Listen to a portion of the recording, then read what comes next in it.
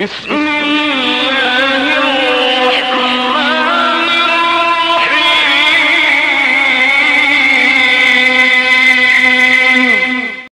आज बगैर इश्क मुस्तफ़ा के, बगैर इश्क रसूल के अमल की खेतियाँ तैयार कर रहे हैं।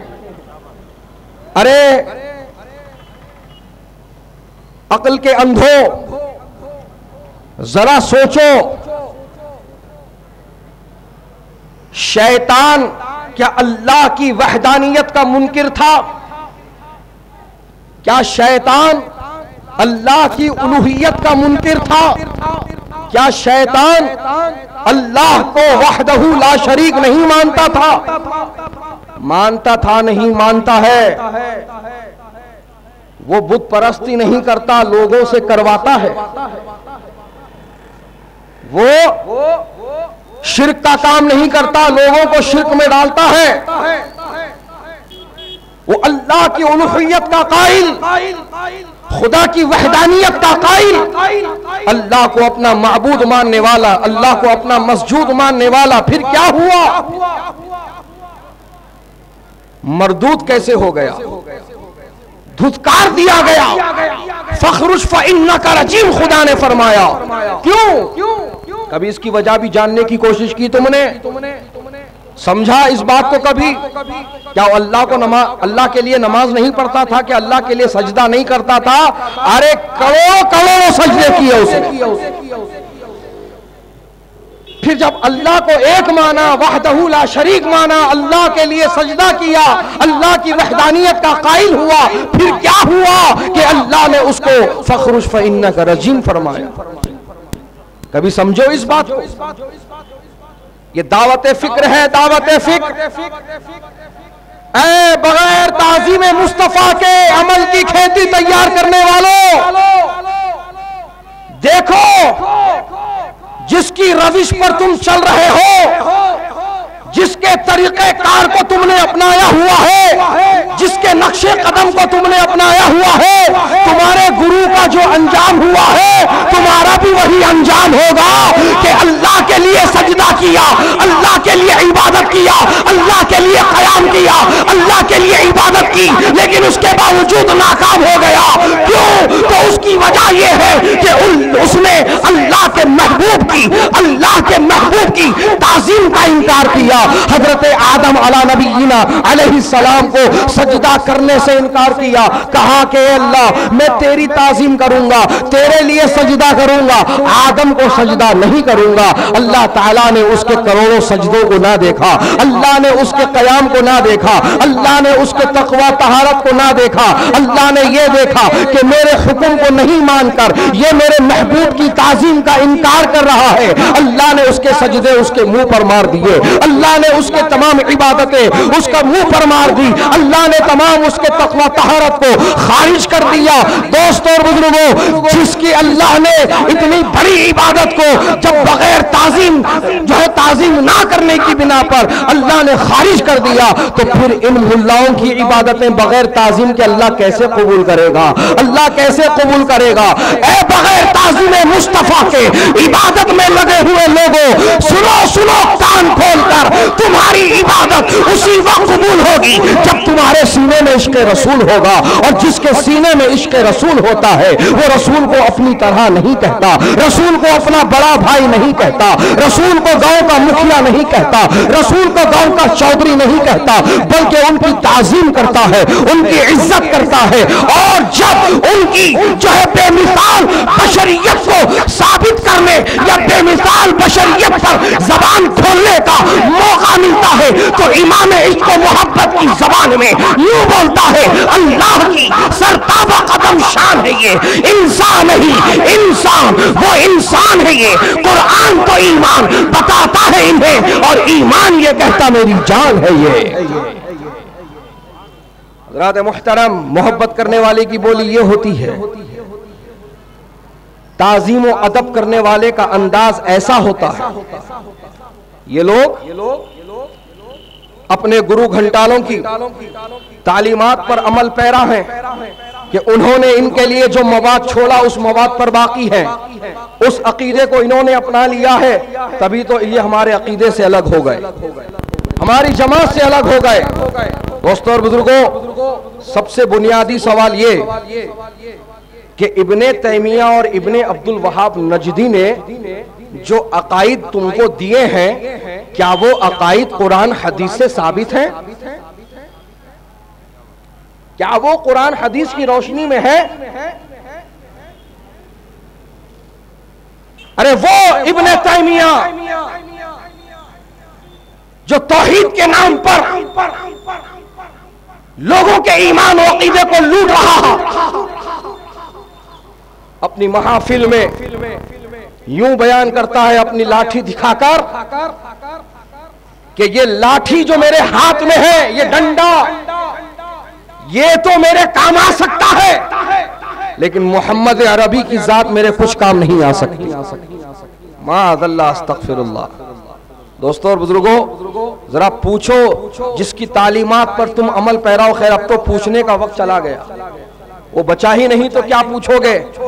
लेकिन मालूम करो मालूम करो कि जिस खुदा की वहदानियत का वो ऐलान कर रहा है, जिस खुदा की वहदानियत का वो इकरार कर रहा है, उसको वहदानियत का पता मिला कहाँ से? अल्लाह का पता मिला कहाँ से?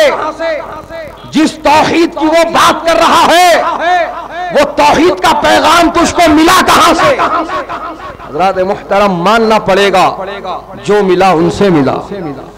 जो मिला उनसे मिला। जो मिलेगा उन्हीं से मिलेगा। इसीलिए तो मेरे आला हज़रत फरमा रहे हैं वो जो ना थे तो कुछ ना था। वो जो ना हो तो कुछ ना हो। जान है वो जहान की। और जान है तो जहान है। सुबह सुबह जो। कुछ मिला नबी से मिला। जो कुछ मिला नबी से मिला। तो जिस नबी से तुझको सब कुछ मिला उसी नबी के ताल्लुक से तू ये कहता है कि इनकी शख्सियत इनकी जात हमारे लिए मायने नहीं रखती। तो फिर तू कैसा मुसलमान हुआ? क्या तेरा कलमा सिर्फ़ ला इलाहा इल्लल्लाह है? नहीं। तेरा कलमा है ला इलाहा इल्लल्लाह मुहम्मदुर रसूलुल्लाह अल्लाह की वहदानियत का इकरार, तस्दीक भी ज़रूरी है। और मेरे आका की रिसालत का इकरार और तस्दीक भी ज़रूरी है। बगैर मेरे आका की रिसालत को कबूल किए तेरा ईमान मुकम्मल नहीं होगा। तेरा ईमान मुकम्मल नहीं होगा। तो फिर किस बुनियाद पर तुमने अपनी किताबों में यह लिखा कि जिसका नाम मोहम्मद या अली है, वो किसी चीज़ का मुख्तार नहीं। तुमने किस बुनियाद पर यह जुमला अपनी किताब में लिखा कि नबी को जैसा इल्म है, वैसा इल्म तो बच्चों को भी हासिल है। पागलों को, चौपाओं को, यानी जानवरों को भी हासिल है। माजल्ला हज़रत मुहतरम, नबी के इल्म को बच्चों के इल्म से तशबी दी जा रही है। नबी के पास जैसा इल्म है, वैसा इल्म पागलों के लिए साबित किया जा रहा है, यहाँ तक के जानवरों को भी साबित किया जा रहा है। बताओ आप। अगर मैं कहूँ कि आपके पास जो इल्म है वैसा इल्म तो जानवरों को भी है। हमारे घर के गली में हमारे घर की गली में जो कुत्ता है उस कुत्ते को भी आपके जैसा इल्म हासिल है। तो आप इस बात को मानोगे? आप ये समझोगे कि मेरी तारीफ़ हो रही है? आप ये समझोगे कि मेरी शान और अजमत बयान की जा रही है कि मेरे पास जैसा इल्म है वैसा इल्म मौलाना के घर की गली के कुत्ते को भी है। आप ऐसा मानोगे? आप कहोगे, मौलाना, क्या कह रहे हैं आप? मैं कहा, कुत्ता कहा? कहोगे कि नहीं कहोगे? तो जब अपने लिए ये बात कहोगे तो फिर रसूल के लिए कैसे तुम ये बात मानोगे कि रसूल को जैसा इल्म है, वैसा इल्म तो माद अल्लाह बच्चों को है, पागलों को है और जानवरों को है। नबी को उम्मी कहा जा रहा है। क्या कहा जा रहा है? उम्मी। और उम्मी के क्या माना बयान किए जा रहे हैं? जिसको पढ़ना लिखना नहीं आता। जिसको पढ़ना लिखना नहीं आता। जरा पूछो इन तमाम जमातियों से, जब तुम्हारा कोई आलिम आता है, मुफ्ती आता है, मौलाना आता है तकरीर के लिए तो उसका नाम का पोस्टर लगाते हो तो उसमें कितने अलकाब लगाते हो? अल्लामा, मुफ्ती मौलाना बहरुल उलूम तो फला तो फला, बड़े बड़े अलकाब अपने मौलाना के लिए लगाते हो। अब जवाब ये दो, जो तुम्हारा मौलाना आ रहा तकरीर करने के लिए, क्या वो मौलाना मेरे नबी की हदीस पढ़े बगैर मौलाना बन गया? तुम्हारा जो मुफ्ती आ रहा है जिसके लिए तुमने इतने बड़े बड़े अलकाब सजा रखे हैं, क्या वो बड़ा मुफ्ती, क्या मेरे आका की शरीयत पड़े बगैर मुफ्ती बन गया है? तुम्हारा आलिम उस वक्त तक आलिम मुकम्मल नहीं होगा। जब तक मेरे आका की हदीस ना पढ़े, तुम्हारा मुफ्ती उस वक्त तक मुफ्ती ना बनेगा। जब तक मेरे आका की शरीयत ना पढ़े तो जरा सोचो कि तुम्हारा आलिम, तुम्हारा मुफ्ती मेरे आका का सहारा लिए बगैर मौलाना नहीं बन सकता, मुफ्ती नहीं बन सकता। तो सोचो, अल्लाह पाक ने मेरे आका को कितना हिम्मत किया होगा। अरे नादानो ये तमाम हदीसें, ये सबूत सब मौजूद है। देखने वाली निगाह चाहिए। कबूल करने वाला दिमाग चाहिए। कैसे कबूल होगा कैसे दिखाई देगा जब आँखों तुमने बड़े बड़े हसदो, बुग्ज के चश्मे लगा रखे हो। इसके ज़रिए से हक तुमको कैसे नज़र आएगा?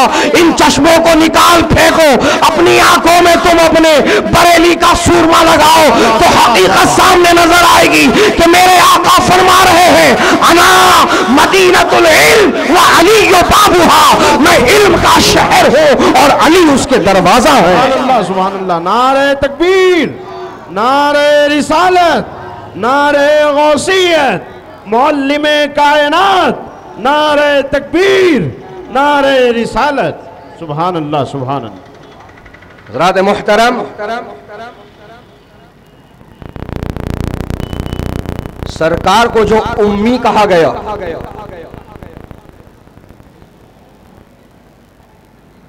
तो वो निस्बत जो है, वो उम्मुल कुरा से है। मक्के में मेरे आका की पैदाइश हुई। कहाँ पर पैदाइश हुई? मक्कतुल मुकर्रमा में। और ये मक्कतुल मुकर्रमा, वो सरजमीन है जिसको पूरी दुनिया का सेंटर पॉइंट माना जाता है। और आपकी मालूमात में इजाफा करूँ, ये वो सरजमीन है जहाँ से अल्लाह ताला ने ज़मीन का बिछोना बिछाना शुरू किया। ये वो जगह है जिस जगह से अल्लाह ने ज़मीन का फर्श जो है, वो बिछाना शुरू किया है। हज़रत मोहतरम के वहाँ से ही ज़मीन फैलना शुरू हुई, इसी मुनासिबत से उस जगह को उम्मुल कुरा कहा गया। और उसी उम्मुल कुरा से मेरे आका की निस्बत करते हुए मेरे आका को उम्मी बताया गया। और एक माना जो तुम बता रहे हो, उम्मी का मतलब जिसको पढ़ना लिखना नहीं आता। हजरात तो मुझे बताओ,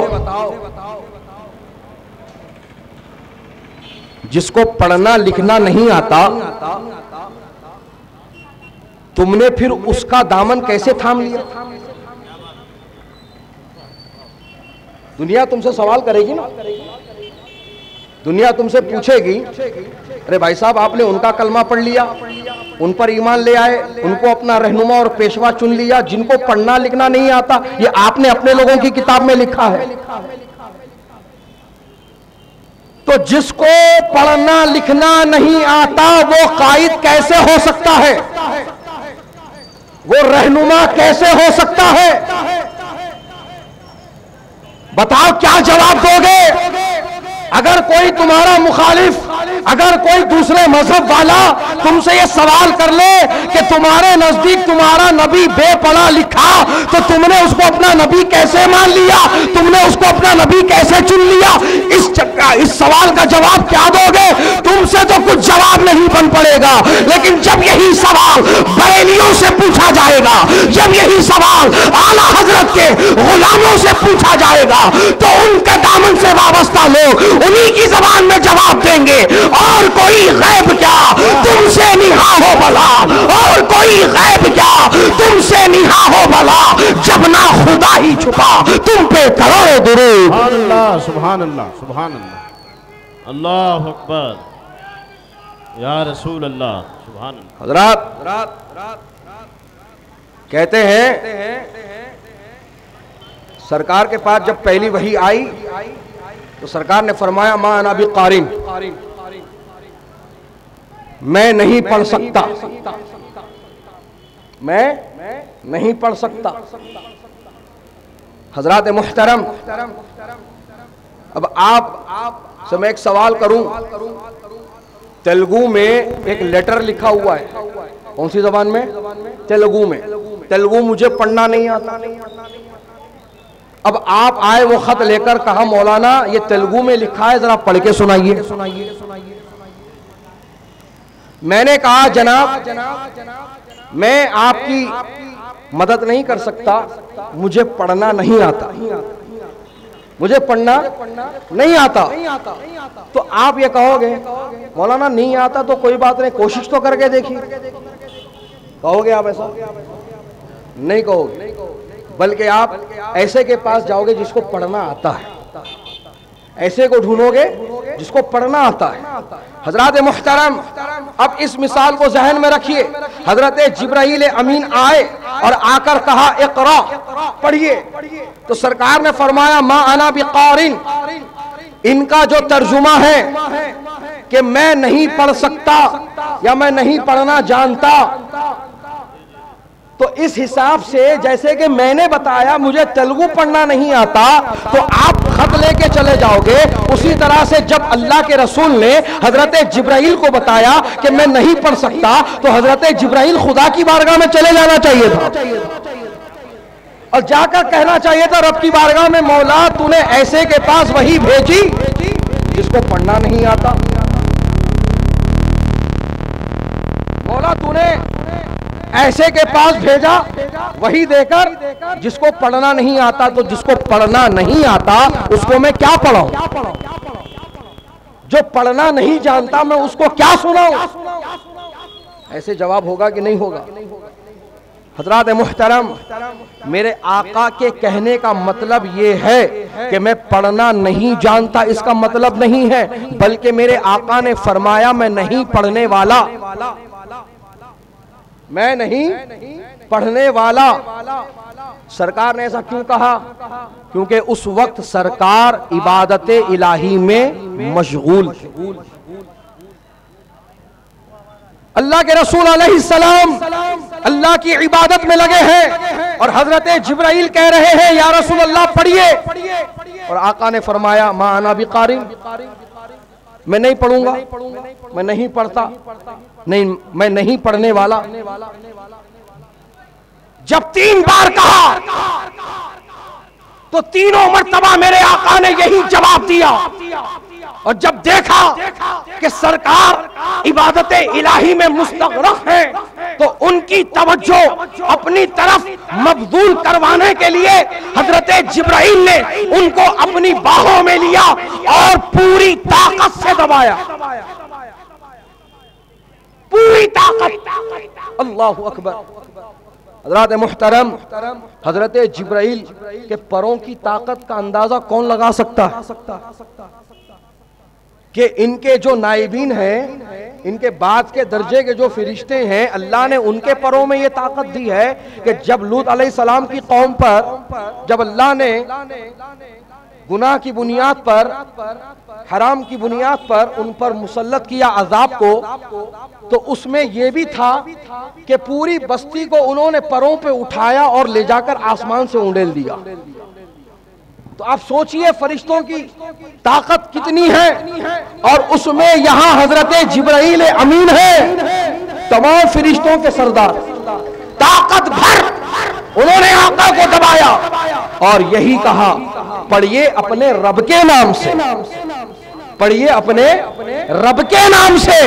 तो मेरे आका ने पढ़ना शुरू कर दिया। हज़रत मोहतरम, शर्म नहीं आती तुमको? जिस नबी का कलमा पढ़े हो, उसी नबी को जमाने के सामने बदनाम कर रहे हो और कह रहे हो कि बेपढ़ा लिखा। अनपढ़, जाहिल, गवार। माजल्ला क्या जवाब दोगे अगर तुम्हारा तुम्हारा गैर तुमसे ये सवाल पूछ ले कि तुमने किस बुनियाद पर नबी का दामन थाम लिया जिनको पढ़ना लिखना नहीं आता? उनकी बात पर तुमने एतमाद कैसे कर लिया? तो क्या जवाब दोगे? हज़रत मुहतरम, मत करो ऐसी बात, मत कहो ऐसी कोई बात लोगों के सामने जिससे नबी की शान अजमत घटे और खुदा की कसम घटाना ना बढ़ाना ना तुम्हारे हाथ है ना हमारे हाथ। अल्लाह ताला ने अपने महबूब के लिए ऐसा इंतज़ाम फरमा दिया कि अल्लाह फरमा रहा लका ज़िक्र। ए महबूब, अल्लाह ने आपको दर्जो बुलंद कर दिया। कितना बुलंद किया? दर्जो वो कितने दर्जे बुलंद हुए? ये बुलंद करने वाला रब जानता है, बुलंद होने वाले मुस्तफ़ा जानते हैं। हम तो बस आला हज़रत की जबान में यही कहने वाले, फर्श वाले, तेरी शौकत का उल्लू क्या जाने? फर्श वाले, तेरी शौकत का उल्लू क्या जाने?